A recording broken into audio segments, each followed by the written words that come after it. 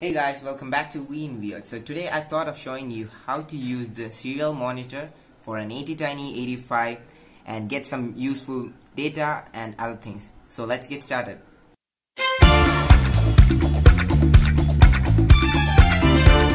For this we need to connect to the computer, right? But we don't have the USB interface for it. What to do? Here comes it. We use an Arduino Uno as always. So this can be used to communicate with our computer and to the ATtiny 85 so let's see one thing to note is that our ATtiny 85 does not support SPI or I2C communication instead it has a special module called USI Universal Serial Interface which can be used to perform specific like SPI or I2C functions. For that, here we are going to implement software serial. So this is pretty easy to do. You just need to import the software serial library and here we are defining the RX and TX pins of the ATtiny that is you are going to connect these two pins of the ATtiny to the Arduino's RX and TX pins. So in this code I am just printing VinVout.io so let's see the output.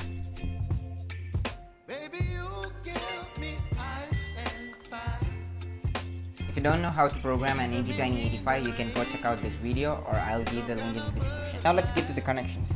I have already connected a few wires here.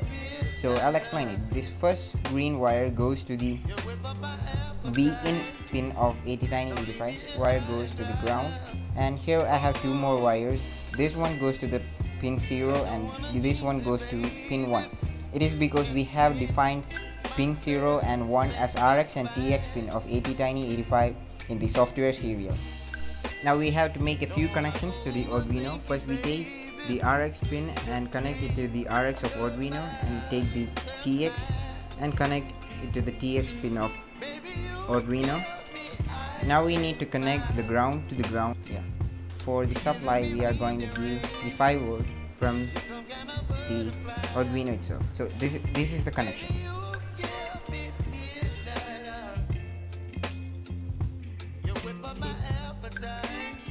Simple if it isn't working you can just push the reset button on the Arduino and it will display it. Sometimes it will only show uh, like you know uh, question marks and other symbols. If that's the case you just need to go to the file and you can click the bare minimum right here and upload this to your Arduino. Now take this code and upload it using the programmer to the ATtiny85 and you will get the output